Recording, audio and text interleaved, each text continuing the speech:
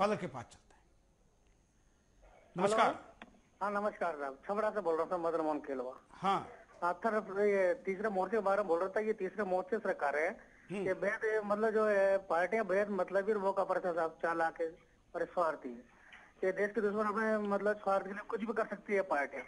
इस मामले में तो अपने निर्वाचन आयोग को भी कोई भूमिका निभानी चाहिए और जितनी भी अपने पार्टियाँ है क्षेत्रीय पार्टी की मान्यता खत्म करना चाहिए। बिल्कुल। ये कहना था धन्यवाद। क्षेत्रीय दल को राष्ट्रीय राजनीति में सरकार बनाने के लिए सांसदों वाली संख्या के अधिकार का ज़रूर पुनर्विचार होना चाहिए। इस विषय पर प्रादेशिक राज्य राज्य में तो सरकार बनाने के लिए प्रादेशिक पार्टियाँ हो सकती है लेकिन राष्ट्रीय राजनीति में प्रधानमंत्री तय करने की दिशा में इन पार्टियों का अगर भूमिका रहेगी तो वो ज़रूर धोखादायक रहेगी। अगले कॉलर। नमस्कार। हेलो। हाँ हाँ जी मैं सुरेंद्र बोल रहा हूँ जी अम्बाला से। बोलिए। जैसे अभी अभी एक भाई साहब ने बात की थी कि अमेरिका के बारे में कि दो ही फ्रंट है वहाँ पर। हम्म। दो ही मोर्चे हैं वहाँ पर। ऐसे ही अगर हमारे देश में भी हो सकता है कि दो ही मोर्चे हों हम्म। और हमारे देश की जनता इतनी जागरूक हो कि हम सिर्फ़ दो मोर्च दो ही मोर्चों को में से किसी एक को जो अच्छा काम करने वाला है हम उसको हम उसको चुन के देश के सामने लाएँ, ताकि वह हमारे साथ इस तरह से धोखाधड़ी या कुछ जैसे कि सरकार में हो रहा है गरीब आदमी बिल्कुल ही मारा जा रहा है। बिल्कुल। धन्यवाद। बहुत अच्छी बात यहाँ पर इन्होंने कही है और ये बात इवन स्थानिक चुनावों में भी की जा सकती है। कई बार हम देखते हैं कि इतने राजनीतिक उम्मीदवार खड़े होते हैं कि सारे राजनीतिक उम्मीदवारों की अगर हम चुनाव में वोटों की गिनती करें तो जो चुनकर आया है उससे ज़्यादा वोट, अर्थात तो उसके विरोध में वोट बाकी अन्य लोगों को पड़े होते हैं। लेकिन संख्या के विभाजन के आधार पर उसको चुना जाता है। देश में मोर्चे की बात अमेरिका में नहीं है। अमेरिका में तो दो राजनीतिक दल है। भारत में दो मोर्चे का विचार सामने कई सालों से लगातार प्रयोग के तौर पर आया है कि एनडीए भाजपा की लीडरशिप में और यूपीए कांग्रेस की लीडरशिप में, लेकिन ये राजनीतिक दलों जैसा व्यवहार नहीं कर सकते। ये मोर्चे है, गठबंधन है, और ये गठबंधन प्रधानमंत्री को कठपुतली की तरह नचाने का काम करते हैं यह साबित हो चुका है। अगले कॉलर। नमस्कार। हम आपको एमएमएस दिखाते हैं। तो नहीं लगता है जो देश के लिए तीसरा मोर्चा सही है। इसमें तो हर एक राजनीतिक दल से जुड़े हुए हैं, सब अपने अपने लिए काम कर रहे हैं, सब अपनी भलाई के लिए सोच रहे हैं। मुझे तो नहीं लगता है जो ये अच्छा ही होगी तीसरा मोर्चा बन के आम जनता के लिए। हम ये एमएमएस आपको भेजने के लिए कहेंगे कि आप ये एमएमएस केवल मोबाइल से ही भेजें, ऐसा ज़रूरी नहीं है। आप अपने कंप्यूटर में जाके भी आपके वेब कैम के सामने बैठकर आपने वीडियो को 10 या 15 सेकंड तक अपनी बात को रखें और उस वीडियो को फ़ाइल बनाकर आप हमको भेज दें Bindas Bol at Sudarshan TV dot com पर या आप आपके वीडियो को अटैच करें, पोस्ट करें हमारे फेसबुक के पेज पर तो हम उसको भी डाउनलोड कर कर प्रतिक्रिया के रूप में इस कार्यक्रम में दिखाएँगे। हमारे साथ अब हम इस कार्यक्रम में बचे हुए समय में वीडियो कॉलर को भी लेना शुरू करें। स्काइप पर भी हमारे साथ कई कॉलर जुड़ रहे हैं, हम उनके पास भी जाएँगे। एक एक करके हम आपको वीडियो कॉल और स्काइप के कॉल से भी बात करेंगे अभी अगले कॉलर के पास चलते हैं। नमस्कार। ये भैया, मुलायम सिंह जैसे लोगों के पास ना तो कोई पॉलिसी है इनका लैपटॉप बांटने के अलावा और कोई पॉलिसीज़ नहीं है। हम्म। ये हिंदुस्तान को एक आंतरिक युद्ध की तरफ़ ले जाना चाहते हैं। ये हिंदुस्तान को मुलायम सिंह जैसे लोग आंतरिक युद्ध की तरफ़ ले जाना चाहते हैं। धन्यवाद। अगले कॉलर के पास चलते हैं। नमस्कार। सर जी मैं ये कहना चाहूँगा हम्म। जो क्षेत्रीय दल हैं हम्म। ये जो अपने क्षेत्र की समस्या को समाप्त नहीं करते देश की समस्या क्या समाप्त करेंगे? हेलो हम्म। ये सिर्फ़ एक लोगों को लुभावने वाले और बेवकूफ़ बनाने वाली बातें हैं कि हमने जो है किसी न किसी तरीके से वोट चाहिए और हम राजनीति में अपने जो है एक अपनी बढ़ा बना सके कि भाई हमने ये किया। लेकिन सिर्फ़ अपनी कुर्सी के लड़ते हैं ना कि किसी समस्याओं के लिए। बिल्कुल। धन्यवाद।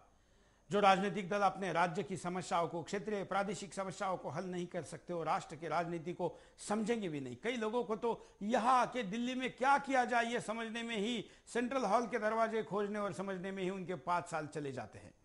अगले कॉलर। हेलो। नमस्कार। हेलो। बोलिए। हेलो। हाँ क्या कहेंगे? अच्छा सर ये तीसरे मोर्च की सरकार जो है हम्म। ये तो किसी काम की नहीं है। हाँ। ये, ये तो देश को लूटने वाले का लूटने का धंधा है। हम्म। दो ही मोर्चे होने चाहिए।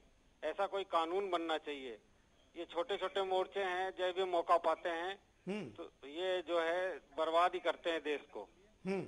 इनकी कोई आवश्यकता नहीं इसका कोई नियम और कानून बनना चाहिए। बिल्कुल। धन्यवाद। अगले कॉलर के पास चलते हैं। आप भी कॉल कर सकते हैं। नमस्कार। सर। बोलिए। सर ये थर्ड पार्टी की सरकार जब बनेगी हम्म। तब हिंदुस्तान में हर आदमी के पास तमंचे चाकू छुरिया रखनी पड़ेगी। क्योंकि यूपी का जो हाल चल रहा है वहाँ आए दिन गोलीबारी चलती रहती है लोग अपने आपस में एक दूसरे को मारते रहते हैं। तो अपने बचाव के लिए जो हिंसा से दूर रहने वाले इंसान को भी फिर अपने पास हथियार रखने पड़ेंगे। हम्म। तो थर्ड पार्टी की सरकार जब बनेगी तो देश एकदम ऐसा लगेगा कि भारत में वर्ल्ड वॉर चल रहा है क्या? हम्म। और अभी जो मौजूदा गवर्नमेंट है वही देश को बराबर नहीं चला पा रही है। हम्म। और थर्ड पार्टी की सरकार बनेगी तो ये समझ लो कि बस अभी तो फिर भी अपन कैसे भी गुजारा चल रहा है कैसे भी खींचतान के पेट काट के बचत करके बच्चों को पढ़ा लिखा रहे हैं। हम्म। मगर जब थर्ड पार्टी की सरकार आ जाएगी तो मेरे ख्याल से या तो फिर गुंडागर्दी करना पड़ेगा या फिर भीख मांगनी पड़ेगी। क्योंकि देश तो पूरा पीछे ही चले जाएगा। बिल्कुल। धन्यवाद। हर किसी की सोच यही हो जाएगी कि धन्यवाद धन्यवाद। अगले कॉलर के पास चलते हैं। नमस्कार। हाँ नमस्कार। बोलिए। सर हिंदुस्तान में दो ही ताकतें काम कर रही हैं। हम्म। अभी तक अभी तक हिंदुस्तान में दो ताकतें काम कर रही हैं एक कांग्रेस और भाजपा। हम्म। कांग्रेस पार्टी जो भ्रष्ट हो चुकी है इसके तो भ्रष्टाचार के पता नहीं कितने कारनामे जनता के सामने हैं? हम्म। और दूसरी पार्टी है भारतीय जनता पार्टी। हम्म। भारतीय जनता पार्टी का मैं नहीं समझता कोई बड़ा उद्देश्य है राष्ट्रीय राजनीति में। हम्म। केवल मंदिर मस्जिद के नाम पर पहले सत्ता में आई है। तो मैं समझता हूँ तीसरे मोर्चे को भी मौका मिलना चाहिए बहुत ज़रूरी है। केवल दो, दो केवल दो लोगों को भरोसा नहीं किया जा सकता। धन्यवाद। तीसरे मोर्चे को भी मौका प्रयोग के तौर पर मिलना चाहिए ऐसी बात जो सामने आती है तो कई बार प्रयोग करने की ज़रूरत नहीं। पिछले प्रयोगों को देखकर आप उसके अनुमान के आधार पर इस बार भी क्या हो सकता है ये अनुमान लगा सकते हैं। और देश कोई खेल नहीं है कि जिसके प्रयोग कर कर देखे जाए। ऐसे लोगों के प्रयोग मुलायम सिंह के ऊपर क्या प्रयोग करेंगे आप? अगले कॉलर के पास चलते हैं। ओके नमस्कार सूरज जी। नमस्कार। मैं गौरंग पटेल बोल रहा हूँ अमेरिका से। हाँ। मैं ये आपका टीवी प्रोग्राम देखता हूँ एवरी फ्राइडे सैटरडे संडे हाँ। And I like this one हाँ। और मैं ये कहना चाहता हूँ ये तीसरा मोर्च की सरकार की बात जो कर रहे हैं हम्म। वो अपने इधर कोई होने वाला नहीं है क्योंकि ये चोर है सब लोग जो आपने पुतले लगाए हैं वो सब चोर है ये मुलायम है ये जो सब चोरों की सरकार है अपने देश में ही अपने को लुटते हैं। ये अमेरिका के अंदर जो दो सरकारें हैं ऐसी उधर करनी चाहिए जो भी काम करता है, उसको देना चाहिए काम। और ये जो नरेंद्र मोदी जो आएँगे, वो देश का उद्धार करेंगे। हम लोग इधर से देखते हैं, हम लोगों को पता चलता है कि बाहर से ऊपर से जब दुनिया दिखती है तो पता चलता है कि गुजरात क्या है। और ये सब जो बकवास है, जो सब लोगों को जेल में डालना चाहिए सब चोर चोर लोग है ये ये जो आपने जो भी चिक्चर लगाए हैं उधर, वो सब चोर है। बस वही कहना चाहता हूँ कि तीसरे मोर्चे की सरकार कुछ काम की नहीं है सब जी। नमस्कार जी। धन्यवाद। लोग क्या विचार व्यक्त करते हैं? अपने अपने नेताओं को आप प्रोजेक्ट करते समय इस बात को ज़रूर समझिए। अगले कॉलर के पास चलते हैं। हाँ जी सर। बोलिए। हेलो। हाँ। जम्बाल बोल रहा हूँ मैं। जम्बाल बोल रहा हूँ जम्मू से। बोलिए। हाँ जी। ये मैं देख रहा हूँ कि आपने जो फ़ोटो लगाई फ़ोटो लगाई है जो पीछे जो हाँ। ये। सारे सारे बुढ़े खटिया गए हैं। हाँ। तो इनकी तो इतनी उम्र है इनको घर पर जाके बैठना चाहिए। हम्म। तो ऐसा नहीं है कि इन सबको देश की पड़ी हुई है इनको तो सिर्फ़ अपने अपनी पड़ी हुई है। हम्म। हर एक इतनी उम्र हो गई पाँव से तो चला नहीं जाता। मतलब ऐसे लोग हैं ये जिन्होंने कि हर वक्त देश को बिगाड़ने की कोशिश की है संभालने की कोशिश कभी नहीं की इन्होंने। बिल्कुल। तो हिंदू राजनीति के ऊपर तो ये ऐसे बिफरते हैं जैसे पता नहीं क्या हो गया इनको। बिल्कुल। भाई हिंदुओं का देश है हिंदुस्तान है तो हिंदू हिंदू की बात नहीं करेंगे तो जिसकी पाकिस्तान की बात करेंगे? तो ऐसा इन लोगों को रिटायरमेंट कर करके घर पर बैठा देना चाहिए। धन्यवाद। हम यहाँ पर रुकते एक छोटे से ब्रेक के लिए। ब्रेक के बाद दोबारा आएँगे। बिंदास बोल जा रहे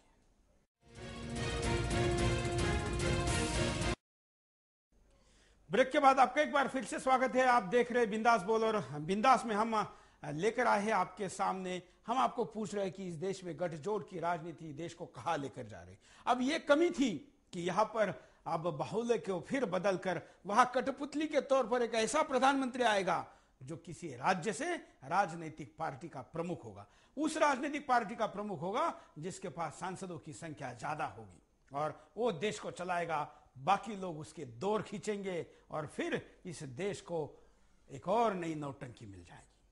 कॉलर के पास चलते हैं। नमस्कार। जी बोलिए।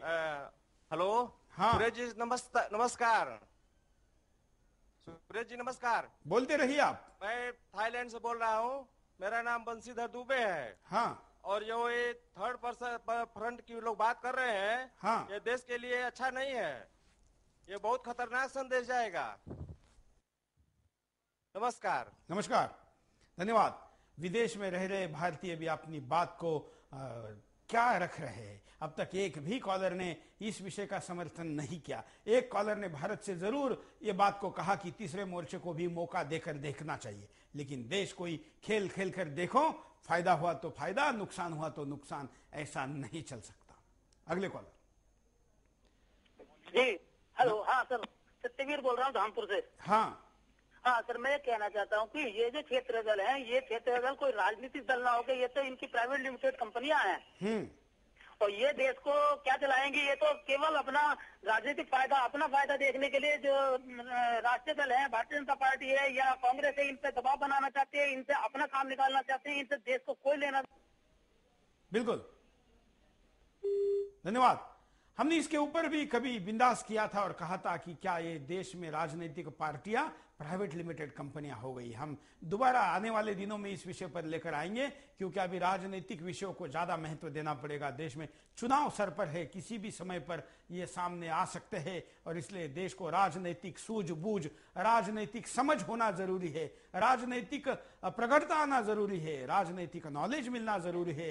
राजनीतिक विकल्पों के विचार, उन विकल्पों के होने वाले फ़ायदे उन विकल्प के होने वाले नुकसान ज़रूरी है समझना देश को और इस देश के मतदाताओं को देश के नागरिकों को इसमें जानकारी देना भी ज़रूरी है। कॉलर के पास चलते हैं।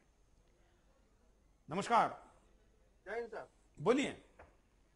मैं यही कहना चाहता हूँ कि तीसरा ने चौथा फंड से नहीं वाले देश के जो आपके नेता है वो देश के बारे में तो सोचें कि कोई स्विच बैंक अकाउंट में अपना बैलेंस जमा करना चाहते हैं।